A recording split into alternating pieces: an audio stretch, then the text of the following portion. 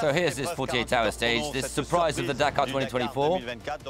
So a stage of almost 600 kilometers, a little less, dunes in the empty quarter. But what makes it special is that it will take place over two days. Yes, two full days to cover 600 kilometers. It's rare, but we don't have a choice. The stage is difficult and long. We've decided that at 4 p.m. on the first day, all competitors will have to join one of the eight bivouacs we've set up along the route.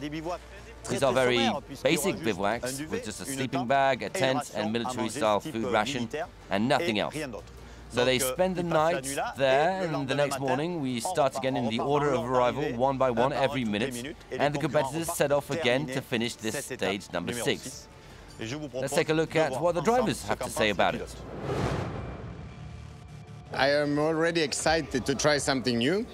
Uh, if I like it, I will tell you afterwards because I'm a little bit scared of the darkness, but I'm sure I will survive. I think that's actually, you know, the foundation of rally there. Nous, on l'a vécu naturellement euh, dans les années euh, Afrique, hein, les, les, les, étapes marathon. Et en fait, c'est toujours dans ces moments-là qu'il y avait un, encore plus de solidarité entre tous les compétiteurs parce qu'on se retrouvait vraiment entre nous, on échangeait et c'était vraiment des bons moments de partage.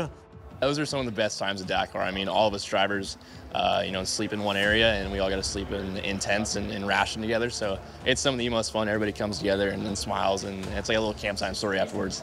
Anything that, you know, adds adds a variable or two to the race can make for a good event. I think it's cool that they're putting uh, new concepts in and um, throwing us into the unknown. You know, that's a bit what sort of the rally spirit is, and uh, I guess it brings back a bit of that. Um, you know, you're on your own sort of thing. And it's just going to be interesting. It'll kind of even out everyone. They're going to be in different areas throughout the throughout the uh, those two days, so you're not going to exactly know uh, where you are on times and everything. Yo creo que le da un poquito más, le echa un poquito más de sal y pimienta a la carrera y será una de las etapas estelares. Et donc d'y ajouter encore du piment, d'y ajouter une étape comme celle-là qui va nous qui va nous épuiser, je pense qu'on peut faire, on va pouvoir faire la différence physiquement.